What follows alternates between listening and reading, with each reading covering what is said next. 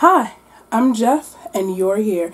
Before we get started, Black Lives do have and will always matter. There'll be links in the description for you to check out. And just remember, it is our responsibility to protect black women every single day.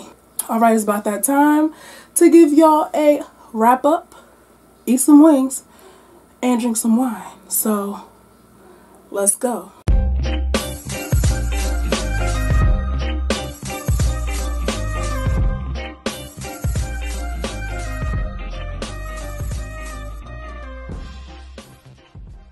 I'm gonna get into all of this, but I really want to taste the food. We're gonna get into the space of the food, but let's pray over it first, okay? Bow your heads and close your eyes. Lord, bless the food, bless the hands that prepared it. May it be nourishing to my body and healing to my heart. In the name of Jesus, I pray. Amen, Ashe, and amen again, okay? Oh, Lord, I gotta tell you about the food first. There's a lot going on, okay? How this came to be is there are a lot of like bookish foodies on Nancy Pelosi's internets, and yet I have not seen a wrap up mukbang. Baby, you always eating right before your videos anyway. I like to drink wine. I like to eat wings. And the day of the week that start with W is Wednesday. So how about it, okay? The one we have today is Mia Dolcea. It's a Moscato. Got little mango pieces in it. Because, you know, I'm fancy or whatever. This is from King Kolb's Kitchen. If you are in the Philadelphia area, he is a young black personal chef who does flash platters every Friday. And he also does, he also caters and he also does meal prep. He had chicken wings as one of his options. And I said, baby, my first wings is going to be from you.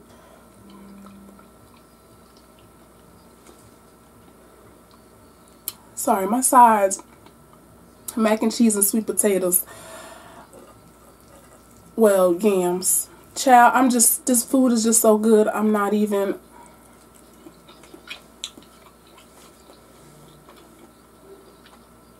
I just, maybe if I put the, the mac and cheese, what,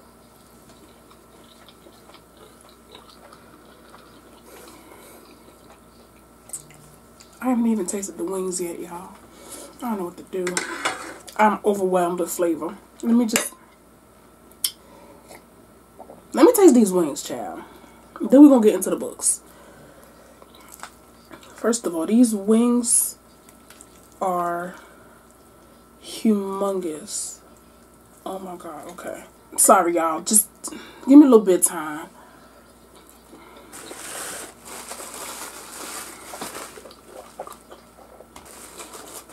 Oh my word.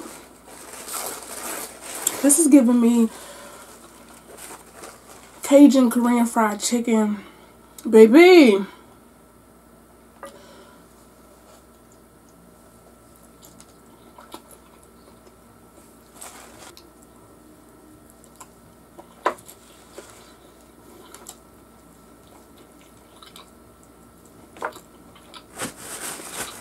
Even if you're not from Philly, You gotta make a trip. You just gotta make a trip. okay. Ooh, child. Hold on, y'all. We gonna get to it. I promise you we finna get to it. I just need like... This is the last bite.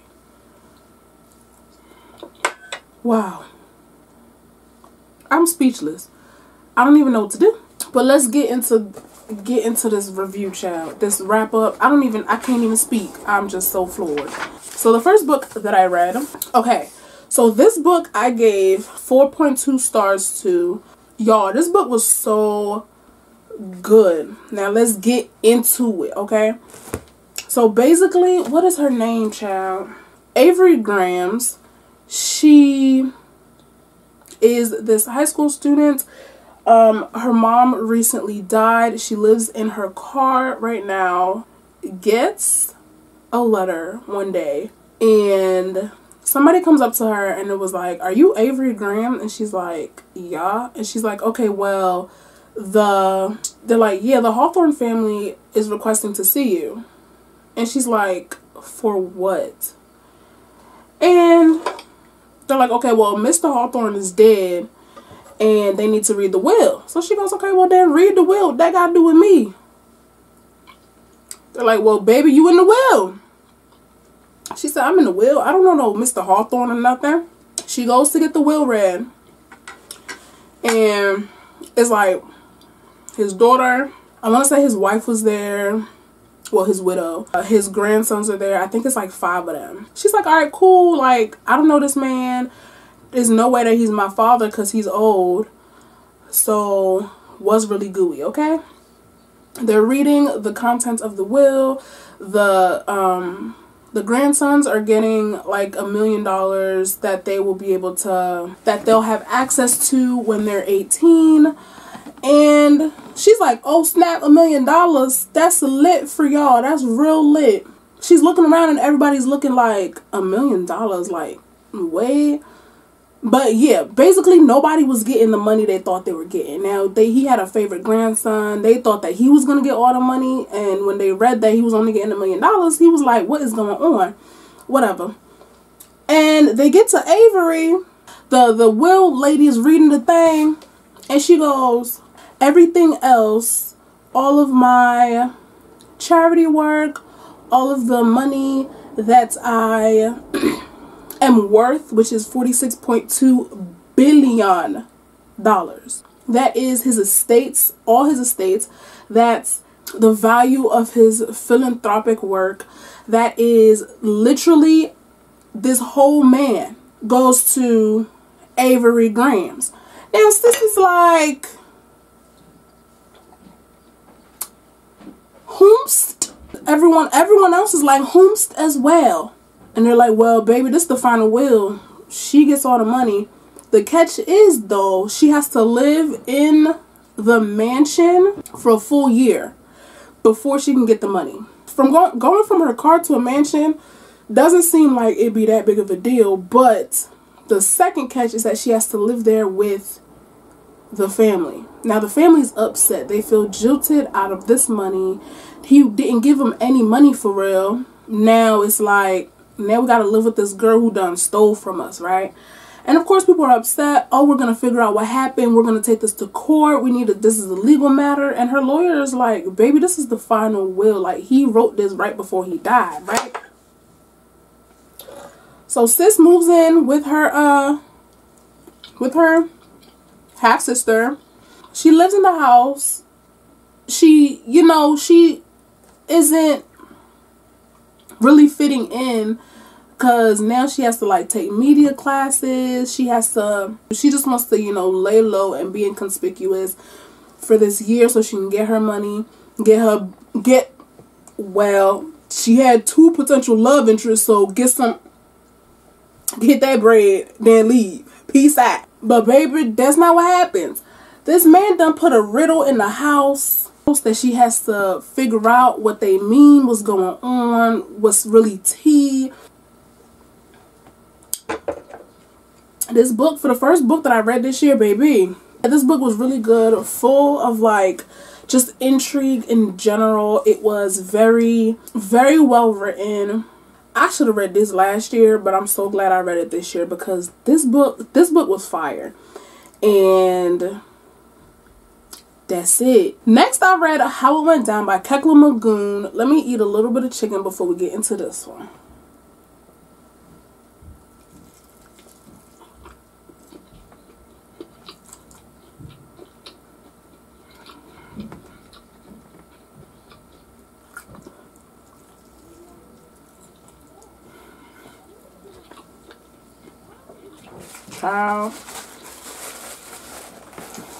Okay, How It Went Down by Kekla Magoon. This book I gave four stars to. It is very good. So it follows it follows the loved ones of 16 year old Tariq Johnson who was shot and killed by a, a white man named Jack Franklin. He went to the convenience store for his mom and he also bought a Snickers bar for his little sister. But anyway, he kind of like gets into a conversation with this other white man And next thing you know, Jack Franklin just heads out of his car and shoots him. Shoots him twice in broad daylight, gets in his car and drives away. Now, some people said that he had a gun.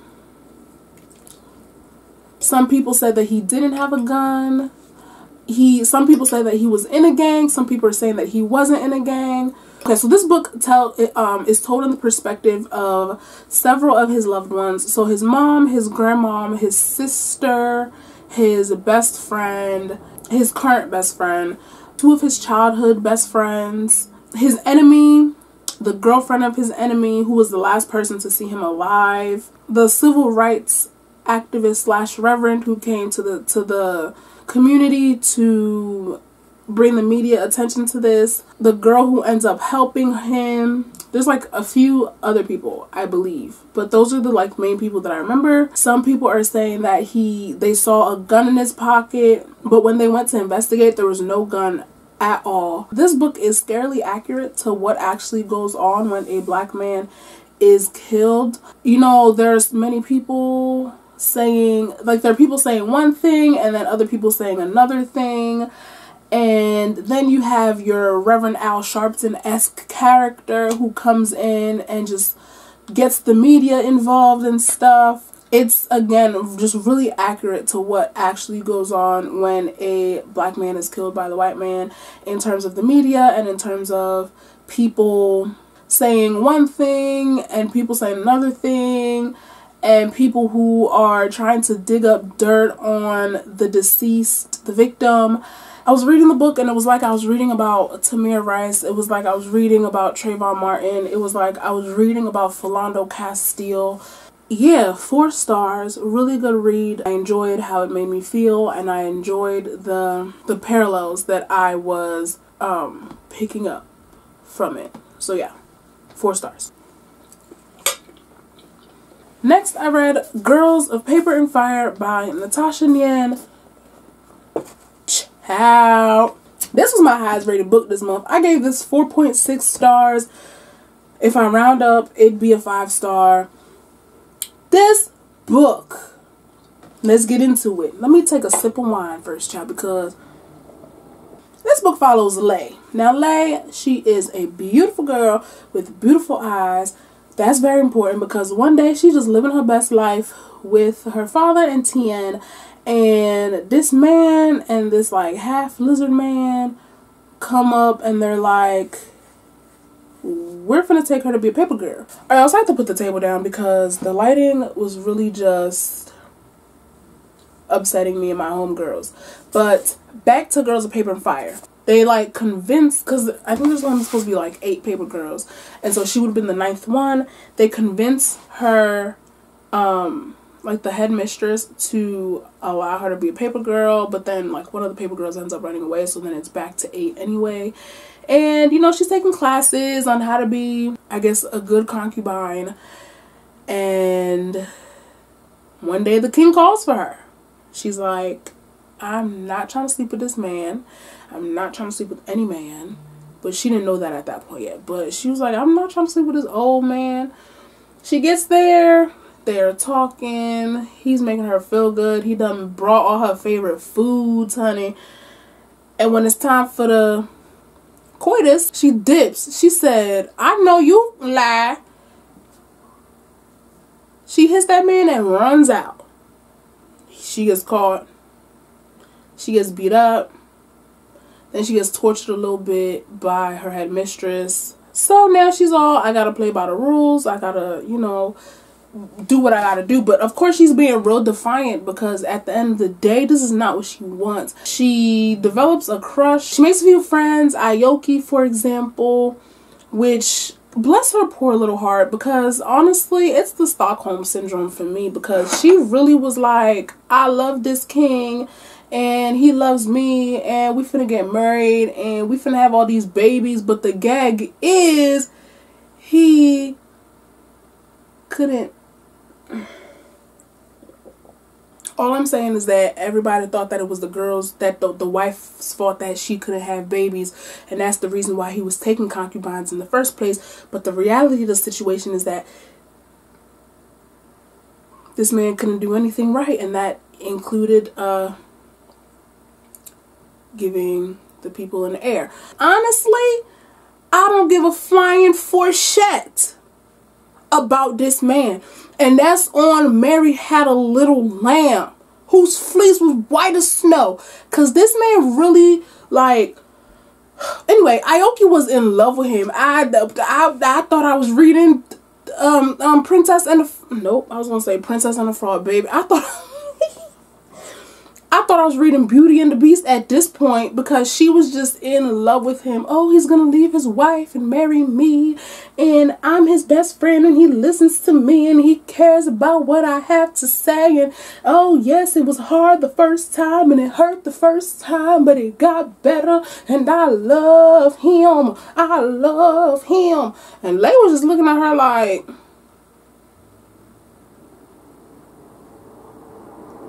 Who we getting into? Blue. I never wanted to see a character die more in my life.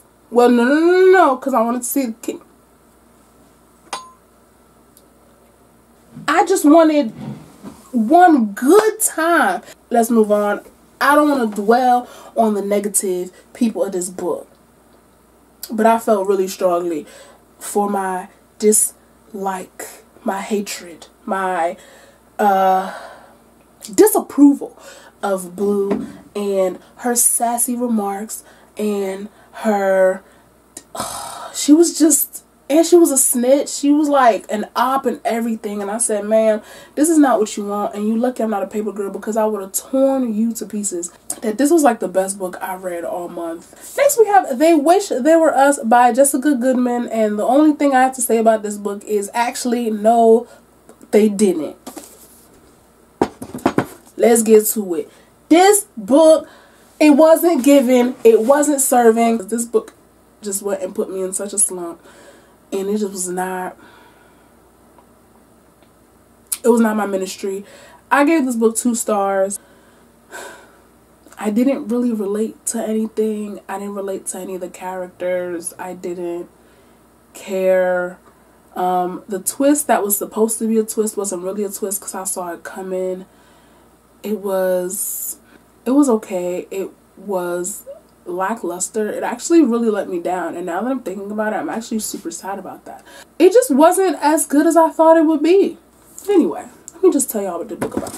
So this is about jill newman.